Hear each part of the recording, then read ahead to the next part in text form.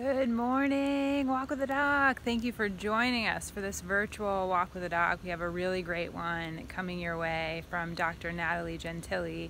Um, she is going to be talking uh, to us about how your lifestyle impacts your legacy. Uh, so, looking forward to sharing that with you. Um, first, I just want to thank everybody for joining us, um, for getting out and moving, and for taking control of your health and impacting your legacy. It's really hot out there, so I encourage everyone to be drinking water at all times. Um, keep getting those steps in where you can, it's really important. Um, with that, I want to give a shout out to Sherry from New York. Oh, she's been a walking rock star, and you should see some of her pictures on our social channels. Thank you, Sherry, for posting and sharing and walking and encouraging us. Um, now I want to turn it over to Dr. G. Um, again, your lifestyle impacts your legacy. Um, after you tune in and watch this, please go out and get out, get in some steps, and uh, log into social media or shoot us an email and tell us all about it. Thanks, everybody. Good morning, everybody. Dr. G here. Walk with a Doc Day. What a gorgeous morning. Sunny, birds are chirping, it's warm. I've got the kids with me. Say, walk with a doc. Walk with the dog. Nice. And Layla. Hi, Lay. So, for today's Walk with a Doc educational chat, I just really quickly wanted to touch on something that I like to talk about when I go do uh, community engagement talks, and it's called uh, your genes versus your recipes, and how your lifestyle can end up affecting your legacy. So, a couple of things. One, we know that there's a connection between our lifestyle factors and our body's ability to either fight or help and fuel disease. A lot of times we'll hear patients um, and people come in saying, hey, I have a history of diabetes. My whole family has a history of diabetes, so most likely I'm gonna have diabetes. Or I've got a family history of high cholesterol, so of course I have high cholesterol, and there's nothing that I can do about it. Turns out that that's not necessarily true just because you have a family history of certain chronic diseases doesn't mean that you have to fall prey to those diseases as well.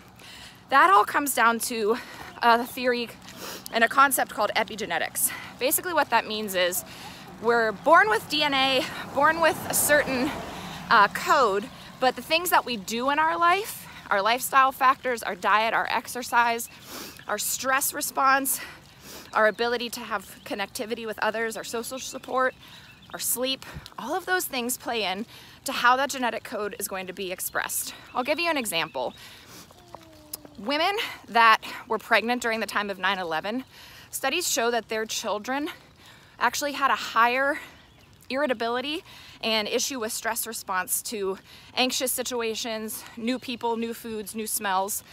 And this is really interesting because those babies were not, you know, exposed to 9-11 outside of the womb, right? But it's the fact that moms that were exposed and traumatized at that time passed down these epigenetic factors that then affected uh, their children. So that, to me, is actually empowering um, in the sense that you could be able to affect your lifestyle and be able to make positive changes that could then help you and the generations after you. What do we know about ways that we can have a better lifestyle? What is the epigenetics diet? These are all really interesting topics. I do want to share the epigenetics diet focuses around whole plant foods.